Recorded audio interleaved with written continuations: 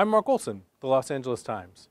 For this edition of the Envelope screening series, we talk with actor Claes Bang, star of writer-director Ruben Östlund's The Square. The movie is a piercing satire of the art world and an uproarious and timely exploration of power and the fragility of the male psyche.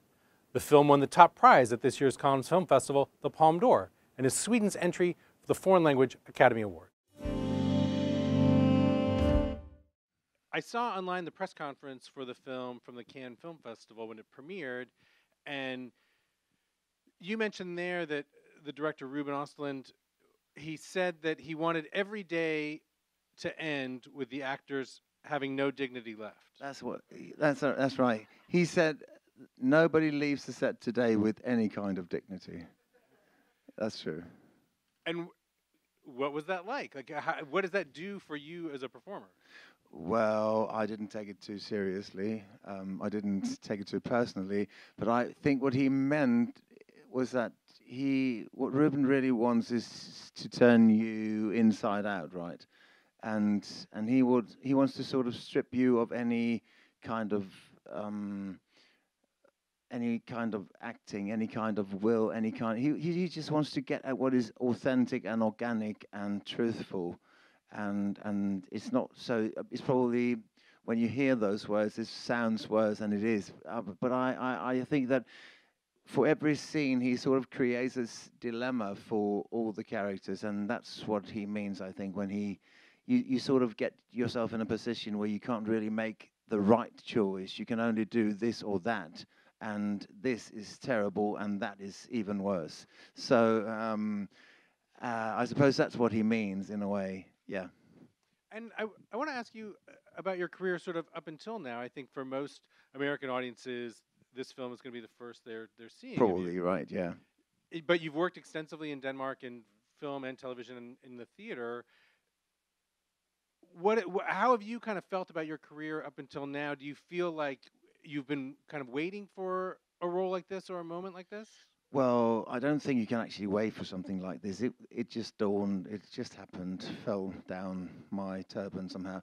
Um, I I'm pretty pleased with my career. I've done so many great things, but you know, to do something like this was something that I never expected. And I've said this probably a million times, but with this thing, I just got to drive the Ferrari of my profession because the way he works and this role and the time and space that he allows you to sort of really investigate and explore every direction and every dimension of, of, of the situation and the character has just been amazing. So if someone 20 years had asked me, what, what, what, what is your dream? I would probably, if I could have said it, I, I would have said this. And now tell me about the casting process. I understand it took a little time for you to actually get, you know, after meeting with Ruben to actually get the role. What was that process like? Well, he's quite thorough, right? Um, um, so I think we went through three casting sessions, and they were all sort of like three hours long. Um, and actually, I didn't read the script till after I got the part, because he didn't allow anyone to read the script beforehand. And for the first casting, I was asked to write and do the speech that I do in the, muse- in the museum introducing the art exhibition. And um, I got to the casting, and uh, he sat me down and he talked me through the whole film. And we did improvs of something like six, seven scenes. And then I was just about to leave. He was about to send me on my way, and I said, "Listen, I've actually written this speech, and should I do it?" Uh, and then I did it.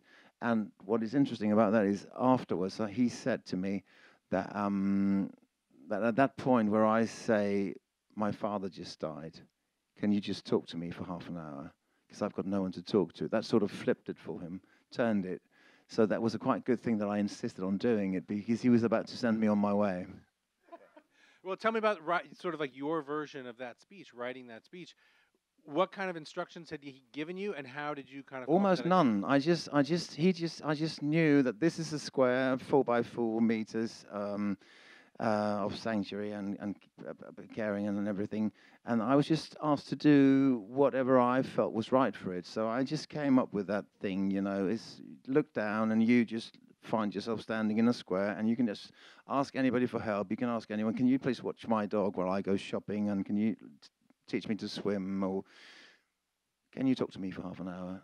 Because my father just, I, I just came up with that, and, and we kept it in the film, yeah.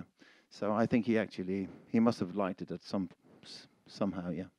And so then once you actually read the script, I mean, the film is deals with a lot of issues. There's a, there's like a lot going on in this movie. It deals with sort of I know Ruben talks about sort of social contracts. It deals with class. It deals with sort of male privilege and sort of the privilege of power. Where do you start with all that? Like, how do you kind of come up with your performance? Well, in that sense, Ruben never ever he never talks about character. He never talks about background. He never talks about psychology. He never talks about. I mean, as an actor, I don't think you can actually play the themes of the film or the sort of bigger picture. You can actually just do what is in the situation right now. And that's what he's all about, you know, being in that in that moment. I mean, you're in you're you're at work, and and someone that you slept with a couple of nights ago comes up to you and says, "So what are we going to do now? Please relate to that." Um, so that's how every day actually was. He's not he's not he's not ever asking you to sort of I mean, it's, it's when you fit all these bits and pieces together that you get the whole picture. Um, and I actually allow myself the luxury of, you know, just losing my mind in that sense and just being there, because that what that's what he wanted. So that's what I did. Yeah. And now, the character of Christian. Do you like him? Like what? Like what do you make of him as a as a person? I love him. I love him. There's so much of Christian. There's so much of me in Christian. So if I said I hated him, it would be terrible to be me. Um, no, well, what I mean by that is that Ruben actually. I hate to say this because it's almost admitting that I'm doing no acting in this film. I'm just being me, um, and that's a terrible thing to say. But um, what he wants is that you try to be as truthful and authentic to the situation as you can be. And I actually think that I drew on a lot of things that are inside me for this thing. And that's what he wants. He wants that sort of really organic feel to it. So I, I can't say that even if Christian comes across as an as a jerk and an idiot or something, I probably think that I can relate to everything that he does in the film, and also the stupid stuff that he does. Because I mean, the stupid stuff that he does in the film is like things that he does when he's like really under pressure. I mean, that thing with the guy in the staircase, he's had a very bad day at work that day, right? He's been sacked. He's, there's been this video. He's been at this monkey dinner. It's been the worst day at work ever. And obviously, if there's a kid in your staircase saying you need to apologize, you just go f- yourself. Get the f- out of my face. Um, yeah, I don't know, but I, I, I, I, I actually think that if you could ask Christian, he would probably say that I'm, I'm sort of a decent, good-hearted person. I would, I'm not a bad person, and I mean, he actually stops in the street to help this woman when she comes up, and then he's tricked and he's fooled. And if someone asks him for money, he says, "Well, I've got no change, but I could buy you food." And then she wants it without the onion, and that's sort of weird, but uh, still. Um, so I think, yeah, I can actually relate to everything he does. Yeah. Well, I think that's one of the most remarkable things about your performance and in the movie is that even as you're watching him make what are these sort of obvious mistakes, you still very much sympathize with him. I think you can very much understand why he's doing what he's doing in the moment, even though, like, as a, a viewer, you sort of would hope that you yourself would not be making those same choices. Well, I very much appreciate that you say that because I don't think you could sit through a film that is this long if you thought he was like the worst person in the world. And I, I think you need to sympathize with him. And I actually think that is one of the only things that we talked about. I said to Ruben that I thought it was important that he was likable, that he was sympathetic.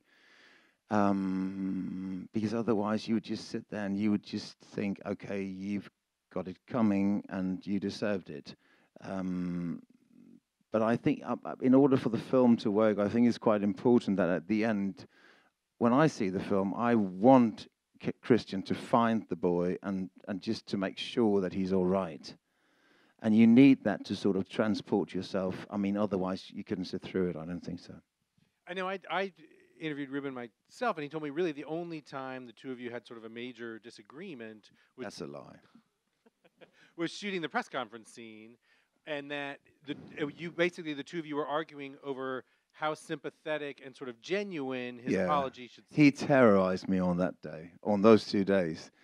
I think what he, he really wanted me to be pushed into a corner, right? He wanted me, I mean, he wanted me to feel bad, or the character. And in order to get at that, he sort of had something like 40 of those people sitting in the crowd. They are actually real journalists, and they were just grilling me with all kinds of questions that I just couldn't answer ever. Um, and you know, when they sort of ask the same question, he does a lot of takes, right? So when he when they'd ask the same questions like five times, and I got quite good at answering them, he said, "You can't say that anymore. You have to think of something else." And if I got too good at it, we started shouting at each other, and- or he called me bad names, and he and I said to him, "Okay, listen, please." You don't get to say that in front of all these people. Come back with, come back to the corridor with me, and we had a very big fight out there. And then we went back in, and it was terrible. I could have killed him on those days. He was he was so mean and nasty to me. I really, really hated him. And I went to see my wife um, in Norway. She was on a shoot up there. Just after that, I had something like five days off, and I was just, I was just, I'm just gonna stay in Norway. And we were the worst place. Norway's terrible. Let me tell you this. Norway's the worst. Um, I, I just wanted to stay in that little village forever because I was like, I'm not ever going to see that guy again. I, I just really, I was so sick of him.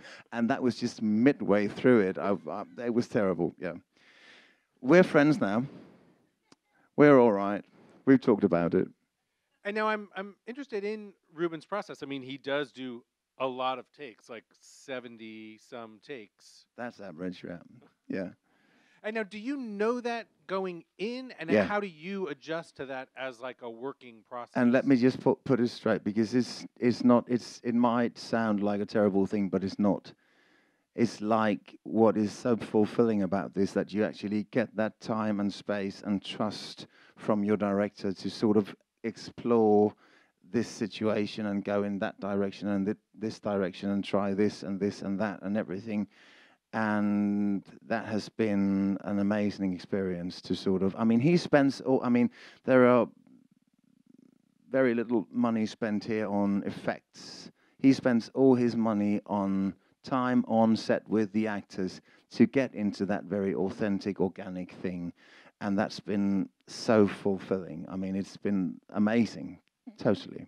And then, so given how many takes you do, and I'm assuming what a sort of variety of performance you're giving him, is it then something of a surprise for you when you actually see the movie? Like you don't necessarily know what performance it's been shaped into. No, that's true. Actually, and that's, I mean, that's sort of the terror of doing film and television because you do something and, and they stick it on a reel and then someone fits it together and you've actually got no idea. And with this one, it was like the worst. Um, but also very, I mean, to sort of allow yourself to just say, well, this is what he wants from me. He, he doesn't want me to sort of do the math of what this is, film is going to be about he's going to take care of it. Okay, I'm going to just go with it and just do what he says and just do this thing. Just be here right now. I mean, this could be a scene from the film and just stay with it and just be in it and not try to sort of be smart about it or, or think of something brilliant to say, but just be there and just. Um, but in that, I wasn't when I saw the first sort of edit of it, and the, the first edit was like three hours and 35 minutes long. Um, I wasn't really surprised. At, um, I mean, it's not like it sort of was a surprise in any way, but still, I was. It is like you know, sort of giving this piece to play with, and this piece to play with, and this piece, and then see, oh, f- the puzzle looks like this now. Um, but um, it wasn't like I was like, oh, did we do this or that? Or no, no, absolutely not. No. And then I want to be sure to ask about your scenes with Elisabeth, Elisabeth Moss. That I mean, there's something so funny, but really deeply uncomfortable in in those scenes. I will. I, I will politely bypass asking you about the the actual sex scene No, let's talk about that. and the scene after, like directly after, as you're disposing of this condom. For to it, re- like it is such a funny scene, but it's first of all, what is going on in Christian's mind? What is he nervous about? Well, I think, I suppose the thing is that he's like, is she gonna have my kid now? I suppose that's what he's worried about. Um, and actually, we thought about him talking a little, saying, you know, please don't have my kid now because I've got two and they're terrible, um, and I don't want another. But you know, we would we, we sort of wanted to to keep it a surprise that he's got two kids, so therefore we, we couldn't go there. Um, but I, I'm, I'm not sure. Uh, this is actually this scene is actually something that happened not to Ruben himself, but to a friend. I think that's a lie. Uh, I think it happened to Ruben, but he just didn't want to say it. Um, but um, so he pretends it happened to a friend. Um, but but that's what he says about it, and and he's actually introduced me to someone that he says it happened to. Um, but but um, so it's actually it's actually something that has happened to someone, perhaps not Ruben, perhaps perhaps someone else. And the thing there was that he was like dead scared that she would go and get herself pregnant with that thing. Yeah. And now the scene that comes after, when she comes to his work and wants to talk to him. I think that might be my favorite scene in the movie because I, I just find the the Thank inter- you. the interruptions I, that was so much fun to do. Well, tell me about it. The interruptions from the chair. They're having this conversation near an art installation that involves these crashing chairs. So they're trying to have this conversation while they're constantly being interrupted. And what was it like just shooting that and sort of getting the rhythm of it right? Well, that scene I rehearsed with Ruben during almost every lunch break on every day prior to Li- Elisabeth coming uh, to the set. Uh, and we rehearsed and we rehearsed it and, uh, forever. And then when she arrived, we sort of started doing improvs of, I mean, obviously he'd written the scene, and then we did improvs of not to sort of change it, but to sort of get into this sort of organic, authentic thing. And um, and then we we we worked on it, and and the thing about that scene, I mean, I mean, what I mean, he still wanted um, in every scene. He always wanted Christian to sort of be cornered by something, be like, yeah, and and and he sort of really achieved that. And the fun thing about that scene is that we actually did something like 20 takes of it, and then she had to run off to the loo, and I said to Ruben, "Okay, when she comes back, I can actually remember her name because uh, in the previous takes I was like, I can't remember her name." Um, and then I said to him, "Let's surprise her when she comes back. Let's, I'll just say her name." And that's why the reaction is like so amazing on her side because what? Because she had no idea that we did that. Um, but um, that scene was just amazing to shoot because I mean to work with someone like her was she's such a great actress and and and you can just take that scene in every direction and she just sort of immediately just follows anything you want to do. So we had i mean we had so many ways of going around it and i think it must actually have been quite hard editing that thing because there are, there were so many so many magical moments there. And now the the way in which that scene in particular sort of deconstructs Christian's kind of position of power and the way that he uses that power in picking up women is something that it's quite harvey bernstein isn't it Uh, weinstein whatever burn wine whatever Well, Um, that's that's yeah. what I mean. When the film played at Can- first premiered at Cannes, it seemed very timely and sort of like Mhm. an important movie. And it seems like it, to me, it's so interesting how it's only becoming more topical and more sort of of the moment as it, time has gone by. Is it surprising to you that that element of the movie in particular is so prescient? Well, I didn't see the whole Weinstein thing coming, so yes, probably. Um, But you know, I actually think it's quite interesting because I suppose there's a reason why that thing is happening right now because it seems that power is attracting somehow. And people have been exploiting that forever.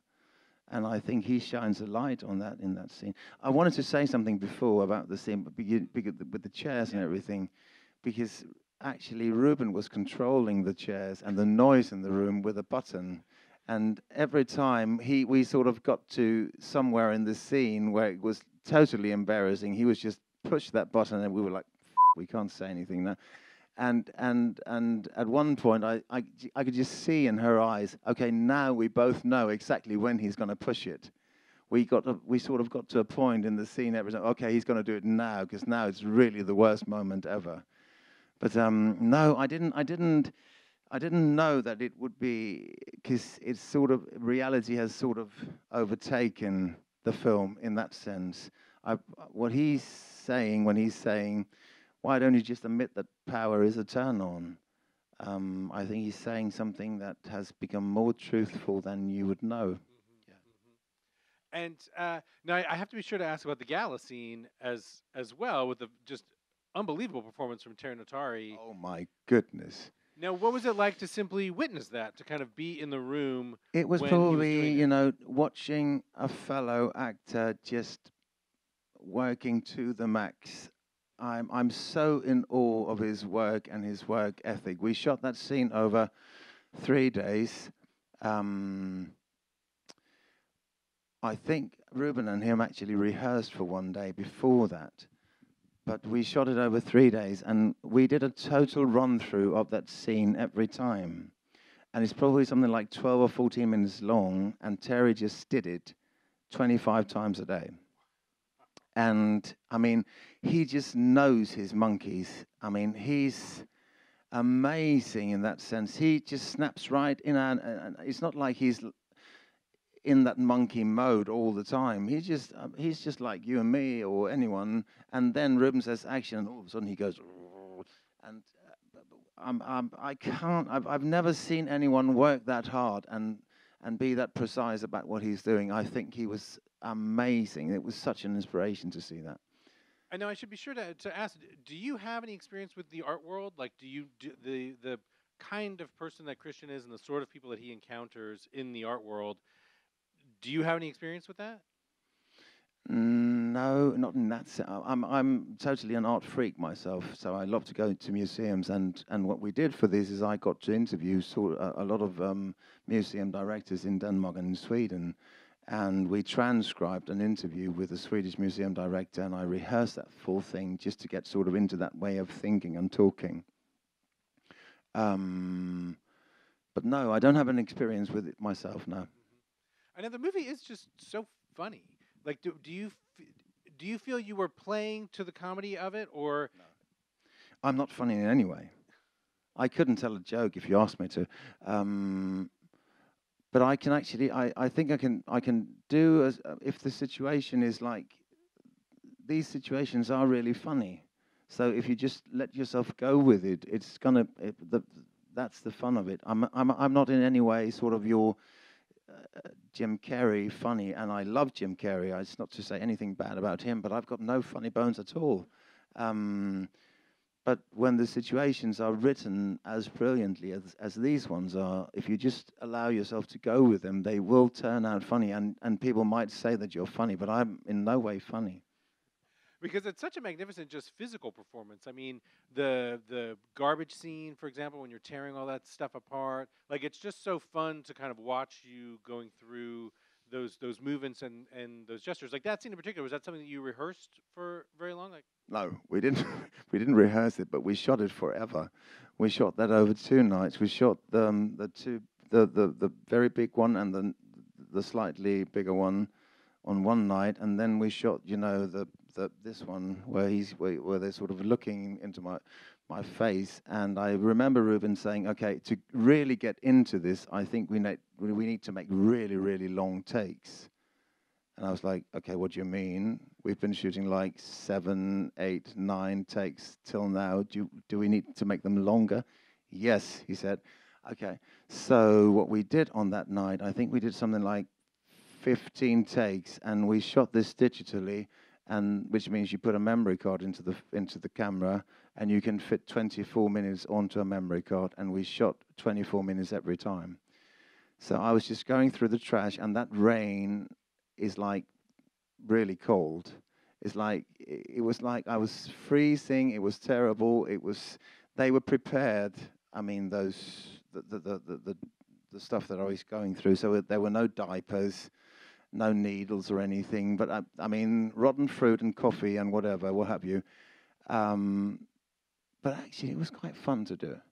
Um, you sort of get into a mode where you sort of okay, let's just do it. Yeah. And now one of the things I find so heartbreaking about the storyline with the with the boy is simply that you keep waiting for Christian to kind of be the adult in the room, to like sort of get outside of himself, realize it's this boy, and sort of behave accordingly. Mm-hmm. But he can never kind of get outside of his own mu- his own head and, No. and things that he's worried about. That's right. He's he's even more the child.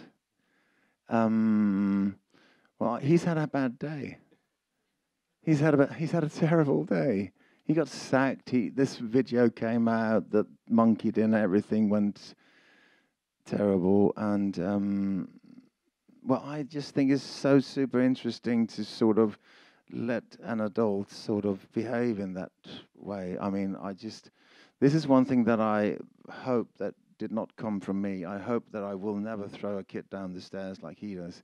Um, but you know that kid, he's like I, I, you probably won't believe it, but he's like Bambi personified.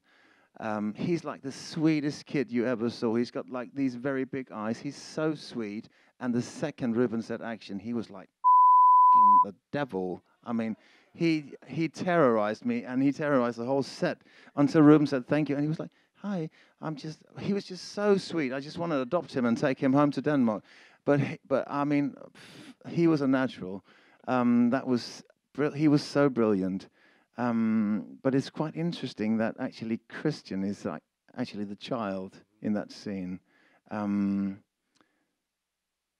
but I can actually see why that happens somehow. I mean, I suppose we've all done very stupid things, and if we're in a, if we're, if the pressure is high enough, and and we've, I mean, we do stupid things, and I, I, I suppose that's why you can actually relate to Christian because I, we can all relate to the fact that we've done stupid things in our lives. I suppose I can.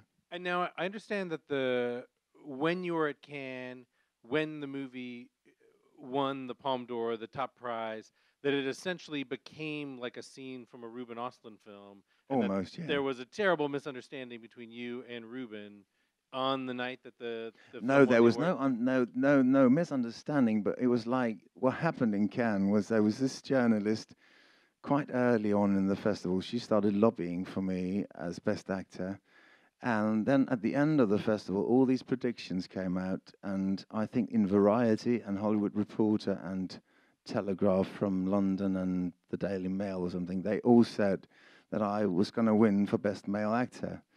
And so we went to the the award ceremony, and you only get called to go there if you're going to pick up something.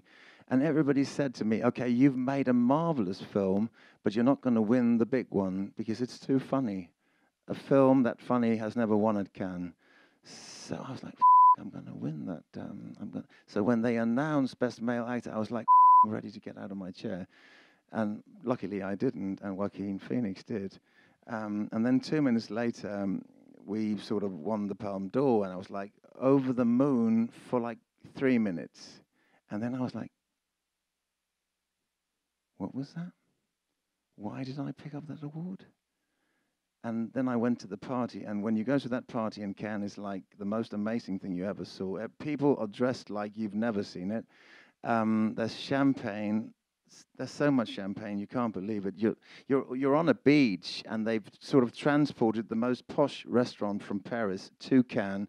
The food is amazing. Everything is amazing. And I was just getting really pissed, talking to my agents and saying, I'm really, really mad that I didn't get this uh, award for me. And then when Ruben came back from the press conference, I, I saw him across the room and I thought, I'm gonna kill him. He stole my award, that little Swedish wanker. I'm just gonna tear him apart.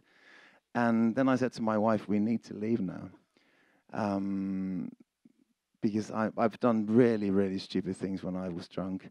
So I knew that I was capable of probably doing something really terrible there. So I went back to my flat, which was like probably 200 meters away from, from the Palais. And I just sat there with a glass of Coke and watched the fireworks. and, and it was terrible, yeah. But I walked away and I, I, I, was like, I'm going to tear that prize apart and get half of it because it's mine. I know it's terrible. I, am sorry. I'm, I'm trying to tell this story as many times as I can to sort of confess. sorry. Well, I, I think you uh, you have every right to feel that you deserve a prize of some sort. No, I don't. Listen, listen. The the movie got that amazing prize, and I'm quite proud to say that I actually think that I play a part in it, and that's enough now. It's over. It's fine. I'm good now. But on that evening, it was terrible. My wife was mad with me because she was like, "Are we really going to leave this party? I mean, we just you just won the Palme d'Or. Everybody's here is waiting. Everybody is waiting to talk to you." And and I said, "We need to leave. I'm going to kill him." Well, that is where we will take our leave here tonight. Please, everyone, join me in thanking Claes Bang. Thank you.